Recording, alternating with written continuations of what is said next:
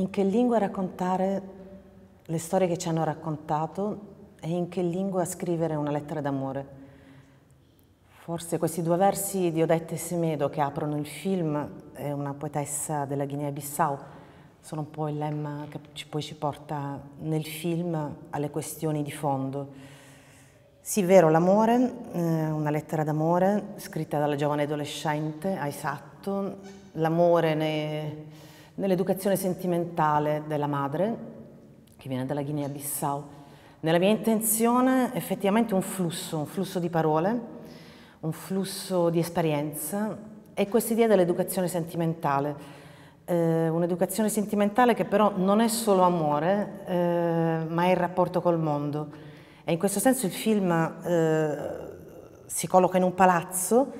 eh, nel centro storico di Lisbona, tra la mia esperienza di questo palazzo e l'esperienza di queste donne.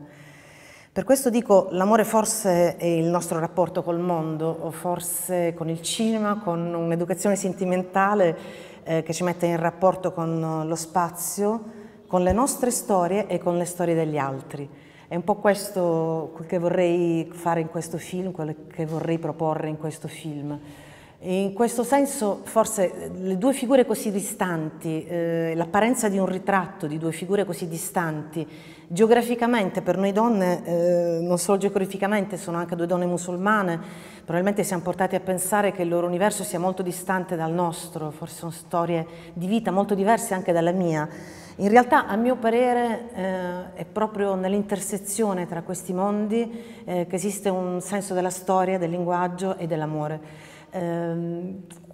quindi per me sì, è un ritratto, forse anche la forma plastica che scelgo di guardare molto i visi eh, e di lasciare che il flusso delle parole scorra mentre guardiamo i loro visi fa pensare ad un ritratto. Mi, piace, eh, eh, mi è piaciuto però contrapporre a questo la percezione del palazzo, proprio come spazio in comune. E anche il mio quinto piano, il film si chiama Tercero andare, eh, in, in, portoghese, in italiano la traduzione è terzo piano, è il piano dove loro abitano, ma nel film si vede anche il quinto piano, oltre a vedersi eh, tutti i pianerottoli, tutte le scale, è un tentativo di accarezzare eh, un po' lo spazio audiovisivo in termini sonori, in termini di quel che possiamo sentire in un palazzo nella percezione della vita mh, mm, in comune. Eh, I suoni sono diversi. Si vede anche il mio quinto piano e si vede anche, poi c'è anche una citazione cinematografica, per questo dicevo nell'educazione sentimentale può entrare anche il cinema nel mio caso, eh, perché quando arriviamo al quinto piano quel che ascoltiamo non sono suoni di vita mh, familiare, in realtà è la radio, eh, la radio italiana, è Rai 3 che mi, che mi accompagna quotidianamente, è un programma proprio sul cinema, Hollywood Party, che è un programma che con il cinema alla radio, il cinema in diretto, mi riporta alla voce di Alida Valli. E Alida Valli sorge per me come forse un esempio della mia educazione sentimentale. Eh, dico questo perché in quanto donna eh, ricordo quanto il cinema sia stato importante per me, un'eredità forte proprio nella mia educazione sentimentale, quindi le voci di queste donne, Alida Valli in senso di Visconti o Anna Magnani in Roma città aperta, eh, sono voci e visi che hanno eh, contribuito alla mia educazione sentimentale. Quindi in questo film, eh, nello spazio in comune, ascoltiamo la vita eh, di una famiglia numerosa, musulmana, di origine della Guinea-Bissau eh, e allo stesso tempo ascoltiamo qualcosa che mi appartiene eh, come educazione sentimentale. Quindi è la proposta di linguaggi che si incrociano, di vite che si incrociano all'interno di un palazzo nel centro storico di Lisbona. Mi piacerebbe concludere la questione del linguaggio eh, raccontando qualcosa di contingente. Stamattina ho letto su Repubblica eh, l'intervista a Nanni Moretti che parlando di Palombella Rossa eh, ritornava alle questioni di linguaggio e quindi al problema della deriva del linguaggio. Io devo dire che tra le mie eh, priorità, tra le mie priorità eh, in questo film e in molti altri lavori che ho fatto, che attraversano temi diversi, che in realtà, eh, come dicevo prima, c'è un'apparenza dei temi che è data eh, dai segni più evidenti che abbiamo nell'immagine e poi c'è qualcosa che è la nostra preoccupazione alle spalle. Eh, effettivamente in questo film in cui queste donne si traducono l'un l'altra, passando dal Fula, che è un dialetto della Guinea-Bissau, al portoghese, che è la lingua che la figlia apprende fin da piccola e che è la lingua che media poi il rapporto di questa donna eh, che vive solo in Fula con il mondo in cui vive e anche con me, c'è un flusso nel film eh, che è un flusso che parla di lingue e linguaggi. Eh, lingue e linguaggi è per me un'operazione che eh, forse propone qualcosa contro la deriva del, del linguaggio, che è eh, l'attenzione che abbiamo eh, alla coesistenza di lingue e linguaggi diversi nella vita del, del nostro quotidiano. Eh, in una città come Lisbona succede in un palazzo, in un appartamento come il terzo piano del mio palazzo succede che una madre di origine della Guinea-Bissau abbia un dialetto che è l'unica lingua che usa eh, perché è sempre in casa e la figlia già parla portoghese, quindi c'è questa lingua di mediazione eh, con il mondo esterno e anche con me. In, in, realtà mi interessava riportare questo gioco della lingua, della traduzione l'una verso l'altra, da una voce all'altra, da una lingua all'altra, da una possibilità di comunicazione all'altra, proprio per parlare dell'importanza eh, del nostro ascolto e della percezione più profonda di queste lingue. Per questo che non traduco il fula, quindi lascio che l'ascoltatore e il, lo spettatore possano eh, ascoltare guardando un viso, una lingua che non conoscono, aspettando che una traduzione eh, sorga come la possibilità della comprensione. Quindi in tutto questo gioco forse un'operazione contro la, spero, forse un'operazione contro la, la deriva del linguaggio per un'importanza data alla parola e alla comunicazione. Per quanto riguarda l'esperienza che ho avuto con queste donne, eh, non è un'esperienza, è un'esperienza che precede il film, e precede il film di molti anni. Eh, io abito in quel palazzo da 24, 24 anni, eh, quindi è un palazzo che ho vissuto a fondo, eh, sono cambiati molti abitanti nel, vicini nel frattempo, loro sono lì fin dall'inizio e sono diventati in realtà degli amici, ehm, degli amici nel senso in cui nostra, il nostro scambio di esperienze precede il film. Dico questo perché dai primi incontri sulle scale, dal primo caffè offerto dal marito di Fatoumata al, nel bar giù sotto casa, alle conversazioni avute con la bambina, perché l'ho vista nascere in realtà, eh, e con la madre, eh, ogni volta che nascevano nuovi figli, lei ha già sei figli, si è sviluppato in realtà un rapporto di intimità familiare nonostante esteso dall'appartamento al palazzo. Quindi, mh, come dicevo, nonostante questa forte diversità della nostra esistenza, è stato possibile uno scambio e questa esperienza del film è nata eh, come una proposta da parte mia di integrare eh,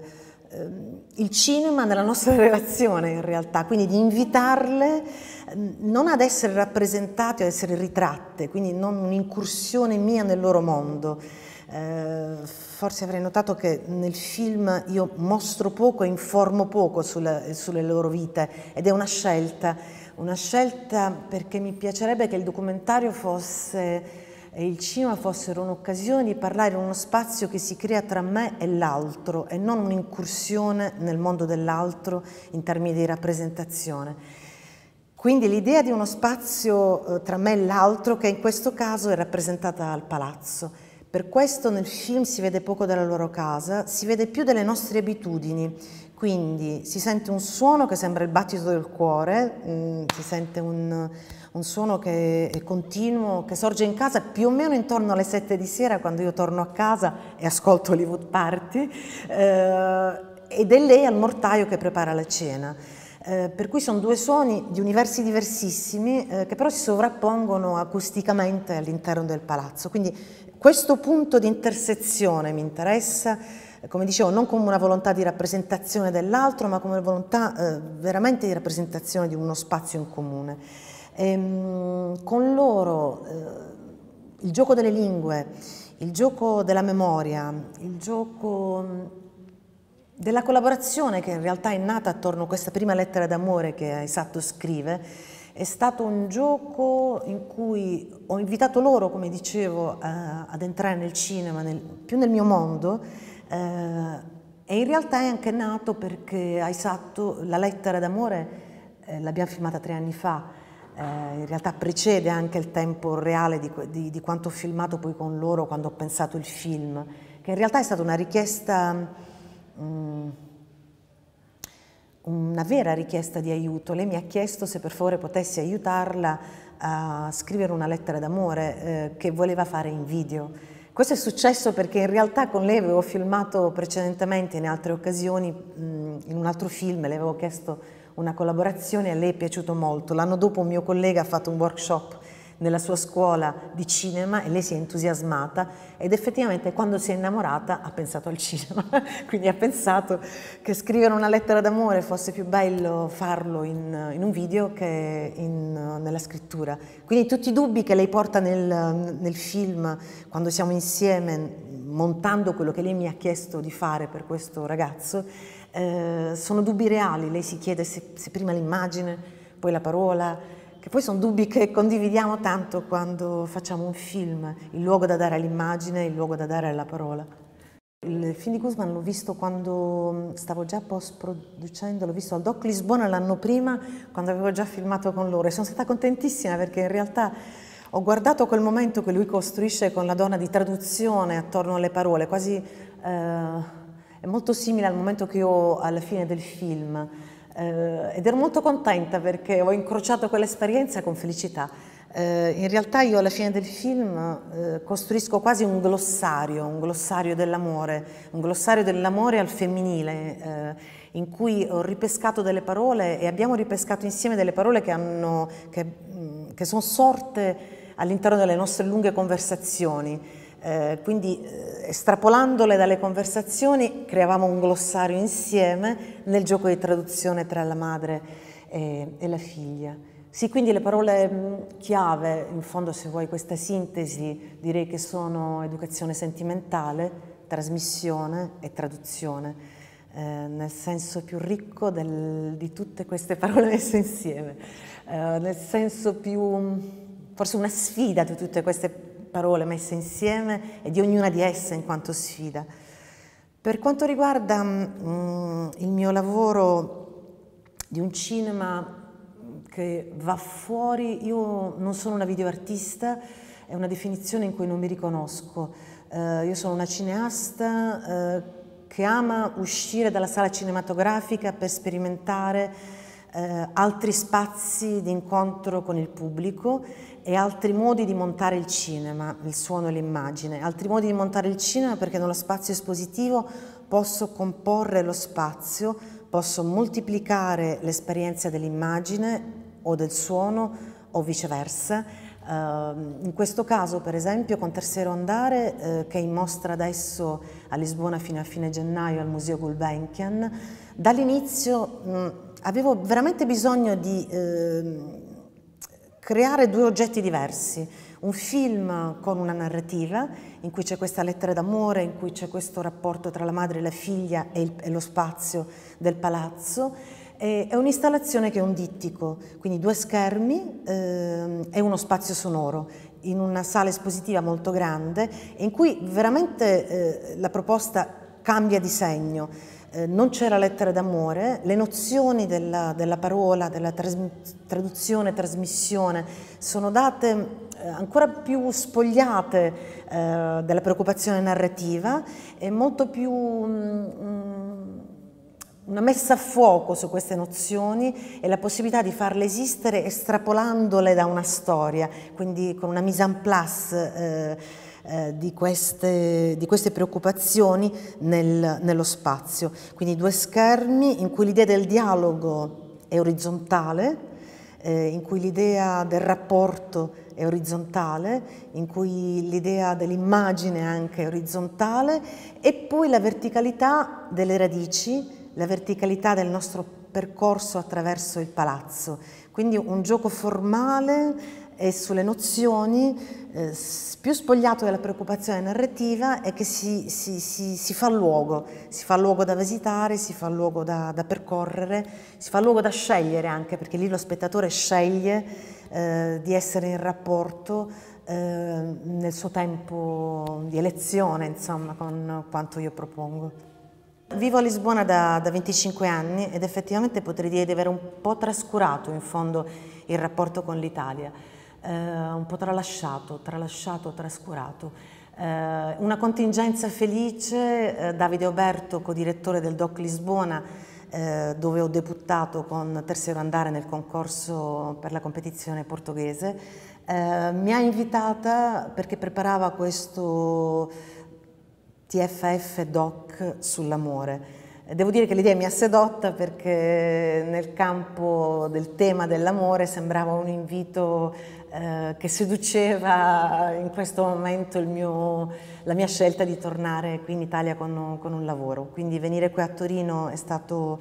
veramente molto bello, mi piaceva anche perché in fondo in questo film tra il terzo e il quinto piano c'era il rapporto tra la mia esistenza e c'era questa citazione del cinema italiano così forte, quindi sembrava un po', mm,